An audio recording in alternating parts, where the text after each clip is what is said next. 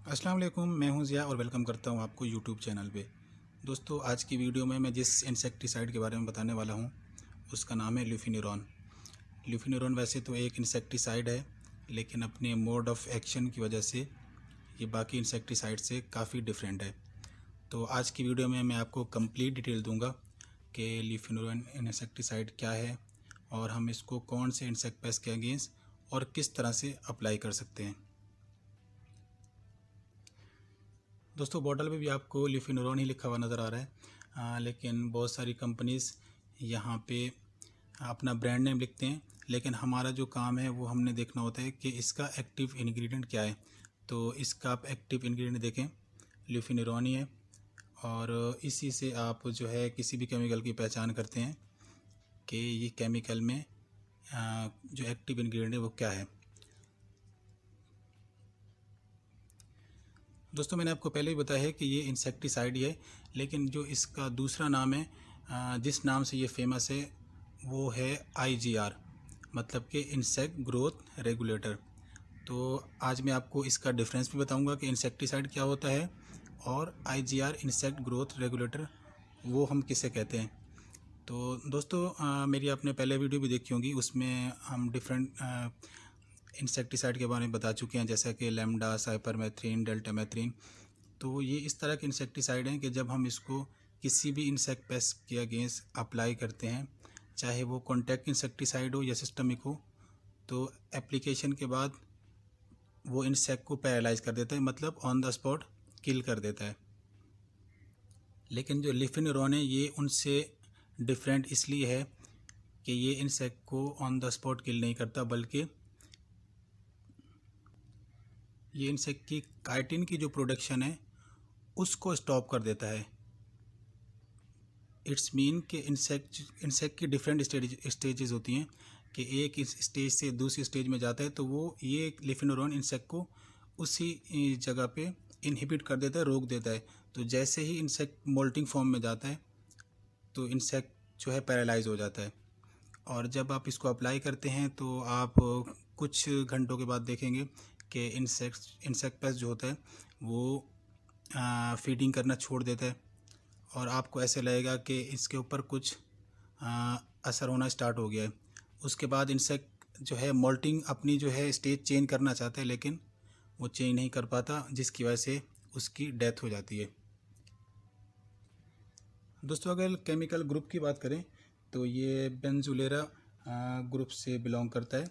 और ये भी इसी फॉर्म में होता है। इसी मीन्स इमल्सिफाइबल कंसनट्रेट और आप इसको वाटर के साथ ईजिली डिज़ोल्व करके अप्लाई कर सकते हैं। और अगर मोड ऑफ़ एक्शन की बात करें तो ये कॉन्टैक्ट और स्टमक दोनों एक्शन से ही इंसेक्ट के ऊपर असरअंदाज होता है। बाकी मैंने आपको बता चुका हूँ कि ये इंसेक्ट पेस्ट को ऑन द स्पॉट किल नहीं करता, बल्कि उसकी जो काइटिन की प्रोडक्शन है, उसको स्टॉप कर देता है, जिसकी वजह से insect paste Aahista Aahista paralyse हो जाता है।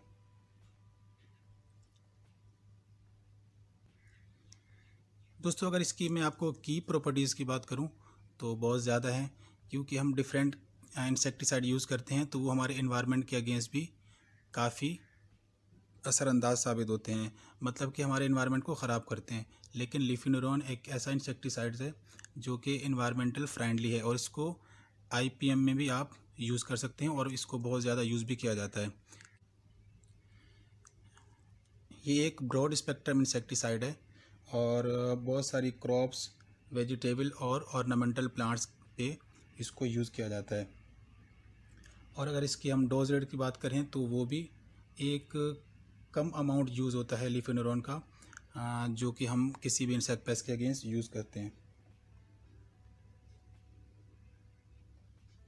दोस्तों समटाइम ऐसा होता है कि जब हम डिफरेंट इंसेक्टिसाइड यूज़ करते हैं, जैसा कि ऑर्गेनोफॉस्फेट कार्बामेट्स सिंथेटिक पैराथ्राइड्स और भी हम इसके साथ साथ डिफरेंट कैटेगरी के जब केमिकल्स यूज़ करते हैं तो समटाइम ऐसा होता है कि इंसेक्ट के अंदर रेजिस्टेंस डेवलप हो जाती है और जब किसी इंसेक्ट पेस्ट के अगेंस्ट रेजिस्टेंस डेवलप हो जाती है तो वो उसको किल करना या कंट्रोल करना काफ़ी मुश्किल हो जाता है। लेकिन लिफिनोरॉन एक ऐसा इंसेक्टिसाइड है कि जिसके अगेंस्ट अभी तक किसी इंसेक्ट पेस्ट ने रेजिस्टेंट डेवलपमेंट नहीं की और अभी तक जो है इसको कामयाबी के साथ इस्तेमाल किया जा रहा है। दोस्तों, अब मैं आपको टारगेट क्रॉप्स के बारे में बताता हूँ कि कौन कौन सी क्रॉप्स के ऊपर आप इसको यूज़ कर सकते हैं। तो जो मोस्ट इंपॉर्टेंट क्रॉप्स हैं, उनमें sugarcane maize orchard cotton vegetable और इसके साथ साथ बहुत सारे ऑर्नामेंटल प्लांट्स पे भी हम लिफिनड्रॉन को यूज़ कर सकते हैं। दोस्तों क्रॉप्स के बाद अगर हम इंसेक्ट की बात करूँ तो इसमें भी बहुत लंबी लिस्ट है जिसके अगेंस्ट हम लिफिनड्रॉन को यूज़ करते हैं। उन इंसेक्ट पेस्ट में जो मोस्ट इम्पोर्टेंट इंसेक्ट पेस्ट है, उसमें आर्मी वॉर में borers bugs American bollworm इसके अलावा codling moth vegetable beetles maize borer और टर्माइट्स के अगेंस्ट भी हम लिफिनड्रॉन को यूज़ कर सकते हैं। दोस्तों, अब मैं आपको डोजेज के बारे में बताता हूँ कि हम लिफिनड्रॉन की कितनी डोज कौन से इंसेक्ट पेस्ट के अगेंस्ट यूज़ कर सकते हैं?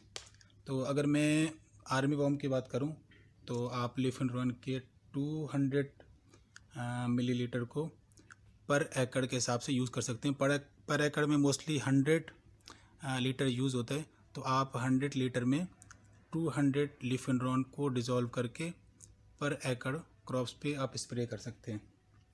कॉटन क्रॉप्स के ऊपर।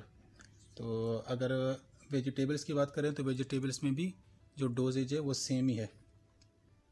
आ, इसके साथ इसके अलावा टोमेटो पोटैटो ऑनियन और दूसरी वेजिटेबल्स पे भी आप 200 हंड्रेड पर हंड्रेड लीटर में डिज़ोल्व करके आप इसको यूज़ कर सकते हैं।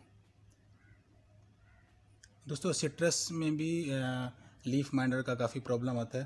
तो अगर आपको सिट्रस पे आप स्प्रे करना है तो उसमें आप इसका 60 टू 80 एम को 100 लीटर ऑफ़ वाटर में डिज़ोल्व करके आप स्प्रे कर सकते हैं।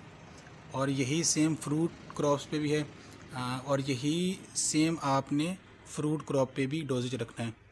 जैसा कि एप्पल के ऊपर कॉडलिंग मौत का काफ़ी सीवियर अटैक होता है, और कॉडलिंग मौत के अगेंस्ट आप लिफिनड्रॉन के 60 टू 80 एम पर 100 लीटर में डिज़ोल्व करके आप अप्लाई कर सकते हैं।